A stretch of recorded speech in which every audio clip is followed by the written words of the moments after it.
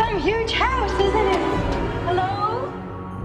Why are you hiding back there? You don't have to hide from me. I'm as harmless as cherry pie. Those are your hands. Those are your hands. I think you should just come home with me. Joyce, I just saw this strange guy driving with Peg. Did you get a good look at it? Hi!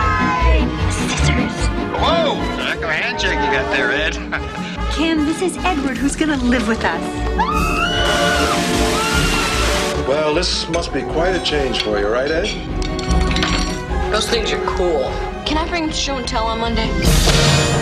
He's a highly imaginative character. It seems clear that his awareness of what we call reality is radically underdeveloped. Eddie, you take my very breath away. Do you have a girlfriend? Is there some special lady in your life?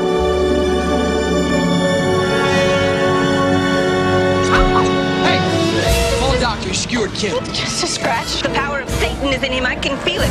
Drop your weapons! All along, I felt in my gut there was something wrong with him. From Tim Burton comes the most incredible tale of a most unusual character. Edward Scissorhands. Hold me.